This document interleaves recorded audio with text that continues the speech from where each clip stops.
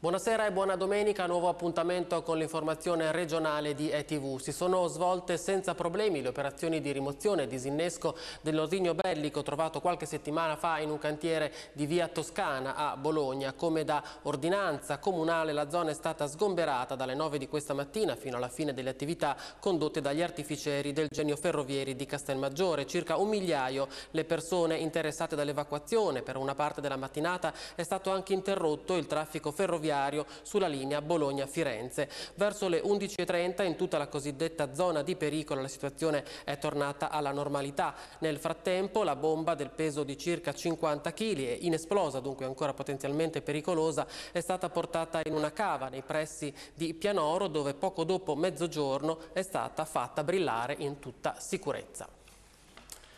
E ora ci spostiamo a Modena e allarme sicurezza in molte città della nostra regione, soprattutto appunto a Modena dove negli ultimi giorni c'è stata una vera e propria escalation di rapine e altri reati. Se ne è parlato anche in una riunione straordinaria del Comitato per l'Ordine e la Sicurezza Pubblica. Dopo un periodo di tregua la criminalità si fa nuovamente sentire ma anche con dinamiche differenti. Non solo vengono messe a segno rapine efferate ma in centro storico si organizzano bande di immigrati bengalesi che si fanno la guerra. Una faida che in questi giorni ha registrato una recrudescenza degli episodi. Un'ondata di violenza che si è scatenata il 29 settembre quando tre bengalesi hanno aggredito e rapinato un connazionale titolare di un negozio di alimentari di via Coltellini ed è culminata ieri pomeriggio con una rapina in un esercizio commerciale di via Selmi. L'assessore alla sicurezza Marino annuncia un giro di vite e un impegno capillare della Polizia Municipale. Per far fronte alla situazione di emergenza è stata convocata una riunione straordinaria del Comitato Provinciale per l'Ordine e la Sicurezza. In queste ore è stato convocato il Comitato Ordine Pubblico e Sicurezza previsto per il 5 dicembre di concerto col Sindaco, il Prefetto ha convocato il Comitato, in quella sede noi mettiamo a disposizione tutta la forza della nostra Polizia Municipale, è evidente che la Polizia Municipale è solo una parte eh, delle possibili soluzioni da mettere in campo, voglio sempre ricordare come l'ordine pubblico e la sicurezza siano temi che riguardano anche il governo, anzi che soprattutto riguardano il governo centrale, ma noi vogliamo fare la nostra parte ed essere in campo su questo. Io voglio lanciare un segnale ai cittadini modenesi, eh, abbiamo vissuto qualche mese relativamente tranquillo, la situazione oggi ha avuto episodi eclatanti ma allo stesso tempo dobbiamo cercare di reagire insieme e riappropriarci dello spazio pubblico come deve essere in una città moderna. E sempre in tema di sicurezza, una pensionata di 75 anni è stata rapinata all'ingresso del suo condominio in zona cirenaica a Bologna. L'anziana ha raccontato di essere stata aggredita da un italiano alto 1,80 m armato di un coltello. Dopo averla strattonata le ha chiesto l'anello che aveva al dito, non riuscendo però a sfilarlo le ha preso gli orecchini, poi è scappato. La vittima ha anche avuto un lieve malore. Un operaio di 45 anni di origine marocchina è stato arrestato per una violenta aggressione che ha fatto finire all'ospedale la moglie, una connazionale di 42 anni. È successo a Castel San Pietro, nel Bolognese. I carabinieri sono intervenuti dopo la chiamata di alcuni vicini che sentivano provenire delle, da delle grida dall'appartamento. Completamente ubriaco, l'uomo aveva in mano due coltelli da cucina che stiamo vedendo in queste immagini, mentre la moglie aveva segni di percosse e anche ferite da taglio alle braccia. Per il marito le accuse sono di maltrattamenti in famiglia e lesioni lesioni personali aggravate. Ancora cronaca, la soprano modenese Mirella Freni è indagata dalla Procura di Bologna per riciclaggio ed esportazioni di valuta all'estero nell'ambito dell'inchiesta sulla banca BER. L'artista modenese, 76 anni, sarà sentita dagli inquirenti di Bologna nei prossimi giorni per chiarire la propria posizione dopo che il sostituto Antonella Scandelare le ha inviato un avviso di chiusura indagini. Secondo l'accusa si sarebbe resa responsabile di esportazione all'estero di denaro in violazione delle norme antiriciclaggio. Il soprano, tramite la propria portavoce, ha respinto questa tesi aggiungendo di volere subito chiarire la propria posizione alla finanza da cui si aspetta di essere convocata. Una, scusate, una maestra di una scuola elementare di Bologna è stata sollevata dall'incarico, dal suo incarico di insegnante di religione cattolica per avere fatto una lezione sui tema del bene e del male citando un passo dell'Apocalisse. Genitori e alunni la difendono, ma ora la, la, maestra, che si chiama Cristina Vai, ha anche l'appoggio del deputato PDL Fabio Garagnani. Vediamo.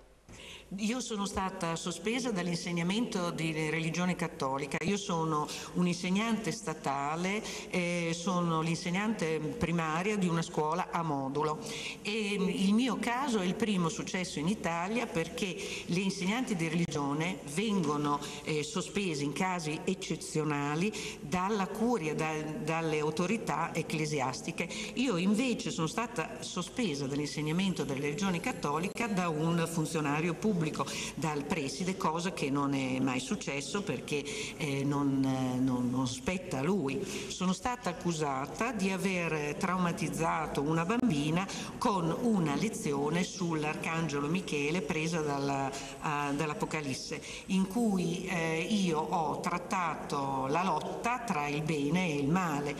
Onorevole Garagnani, lei ha presentato un'interpellanza in merito a questo episodio. In una scuola di Bologna la maestra è stata sospesa. Sì, ho presentato l'interpellanza perché ho ritenuto mio dovere di parlamentare e cittadino di eh, chiedere al governo chiarimenti in merito a una vicenda oscura che è emblematica di un livello di eh, ideologizzazione che è presente in alcune scuole di Bologna, da sempre peraltro, e mi riferisco al terzo ciclo eh, didattico, le scuole Bombici. Ora, il fatto che un'insegnante validissima, confortata del parere di tutti gli, i genitori dei propri alunni, sia stata sospesa dall'insegnamento della religione, perché forse per motivazioni che non sono ben comprensibili, ma comunque sicuramente improntate ad una concezione ideologica, non rispettava diciamo, quelle che sono visioni eh, particolari del dirigente scolastico, credo che sia un fatto particolarmente grave. Nuovo allarme per le infiltrazioni mafiose nella nostra regione, in particolare in provincia di Reggio Emilia. A lanciarlo questa volta è il sostituto procuratore della DDA di Salerno, Vincenzo Montemurro. Sono oltre 5.000 i nativi di Cutro, uno dei comuni a maggiore densità di criminalità organizzata nel Crotonese, che abitano a Reggio Emilia, dove hanno avviato attività economiche. Alcuni di loro appartengano, dice ancora Montemurro, a nuclei familiari all'interno dei quali sono intervenute condanne per associazione di stampo mafioso. Il magistrato Vincenzo Montemurro Burro è intervenuto a un dibattito che si è svolto a Casalecchio di Reno, in provincia di Bologna, nell'ambito della rassegna politicamente scorretto. L'Arcidiocesi di Bologna richiama la Regione Emilia-Romagna a dare risposte alle famiglie. Questo è il senso dell'editoriale pubblicato oggi su Bologna 7. Sentiamo. È un vero peccato che la nostra regione, in tempi di crisi economica e dei ripetuti appelli alla tutela della coesione sociale e nazionale, non colga l'importanza che assume la protezione delle reti di solidarietà e l'adempimento di elementari impegni di equità sociale nei confronti delle famiglie. Lo sottolinea l'arcidiocesi guidata dal cardinale Carlo Caffarra nell'editoriale di Bologna 7, supplemento domenicale al quotidiano cattolico Avvenire, affidato a Paolo Cavana, responsabile dell'osservatorio giuridico legislativo della conferenza episcopale dell'Emilia Romagna.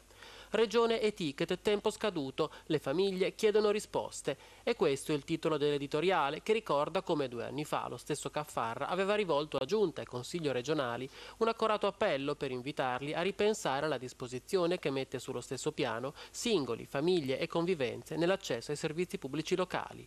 Nell'editoriale l'Arcidiocesi affronta anche il tema dei ticket sanitari introdotti recentemente dalla Regione sulla base di fasce di reddito, una misura che penalizza le famiglie. La Giunta aveva annunciato correttivi, conclude Bologna 7, di cui però ancora non si vedono tracce.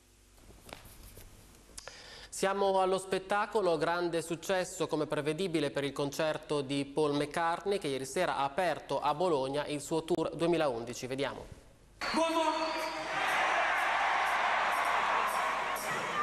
È bello essere qui per la prima volta. Ciao Bologna, come va? Paul McCartney ha salutato così 12.000 spettatori dell'Unipol Arena di Casalecchio di Reno dove ha aperto, cantando Magical Mystery Tour, la sua tournée 2011 che si chiuderà nella sua Liverpool il 20 dicembre. In un completo nero lucido, stile coreano e camicia bianca, imbracciando il basso e sfoggiando una voce ancora potente, il baronetto ha scaldato cuori e anime di un pubblico di appassionati di tutte le età, gli stessi che ieri pomeriggio lo hanno aspettato per ore al freddo davanti all'hotel di Via Indipendenza dove alloggiava e che ha salutato prima di salire sulla macchina che l'ha portato a Casalecchio. Ad ascoltarlo, in un palasport gremito, c'erano anche volti noti, Walter Veltroni, Lucio Dalla, Dodi Battaglia dei Pooh. La scaletta, tenuta segreta fino all'ultimo, è stata di ben 39 pezzi, da quelli mitici dei Beatles a quelli della sua carriera da solista con le altre formazioni che lo hanno accompagnato negli anni. Non è mancato un omaggio alla canzone italiana. Suonando il mandolino ha intonato le parole O sole mio, ma era solo l'introduzione del brano Dance Tonight. Poi ha sventolato anche il tricolore insieme alla Union Jack inglese.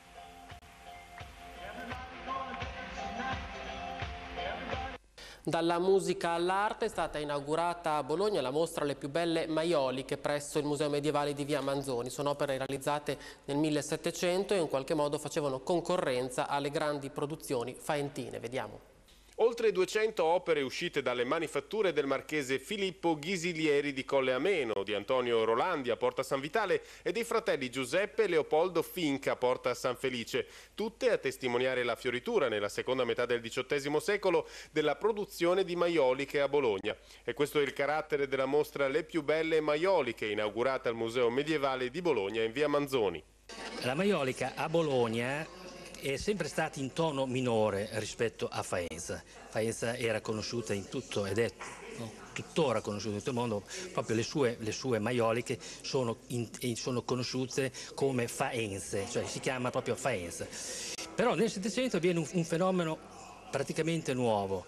Eh, alcuni eh, maiolicari che non provenivano da Bologna ma che si, eh, si, stanziano qua e lavorano qua praticamente per quasi 40 anni, riescono a portare avanti un discorso alternativo a Faenza e addirittura a livello di produzione quasi a livello di produzione industriale, tant'è vero che nell'ultimo periodo, proprio nel, siamo intorno dal 1797 ai primi anni dell'Ottocento, addirittura noi ci troviamo negli inventari la presenza di 27.000 capi che erano in giacenza. Quindi questo doveva presupporre, anzi presuppone, la presenza di moltissime, molte maestranze molto specializzate con una produzione che non era soltanto per Bologna, ma era una produzione per l'esportazione.